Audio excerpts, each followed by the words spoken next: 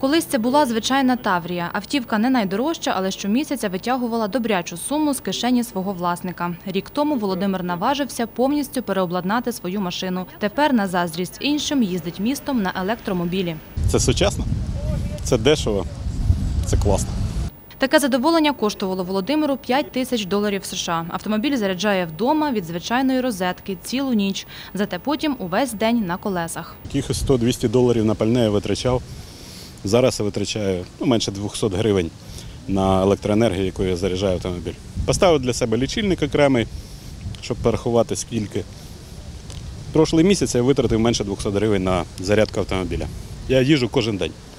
Зараз дорогами Хмельницького їздить чотири електроавтівки. Тим часом заправок, де їх можна підзарядити, скоро буде 25. Мала кількість клієнтів не зупиняє підприємців. Вони вважають, що за електромобілями майбутнє. Є фінансова можливість розбудовувати інфраструктуру зарядних станцій. А потім під цю інфраструктуру ми вже можемо пропонувати клієнтам. Альтернативний е, ну, транспортний засіб, тому що у деяких е, мешканців, жителів міста Хмельницького, зокрема, вони задають нам питання, де я буду підзаряджати свій електромобіль. Тому ми їм пообіцяли, ми розбудовуємо мережу, потужну мережу, інфраструктуру підзарядних станцій електро, і ви без е, страху можете купувати електромобілі і е, будь-де підзаряджатись. І, до речі, для власників електромобілів підзарядка вона безкоштовна.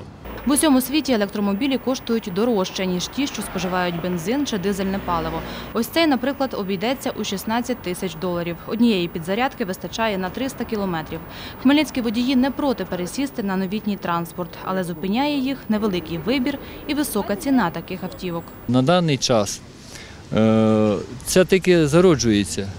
І, можливо, з часом будуть більш кращі моделі, більш ефективніші. Не приходилося керувати таким автомобілем, але я рахую, що це наше майбутнє і це дуже добре. Це і екологія, і е, пальне зараз у нас, бачите, все дорожає, дорожає. Підприємці, які встановлюють електрозаправки у Хмельницькому, переконують, що скоро такі ж з'являться і в Кам'янці-Подільському.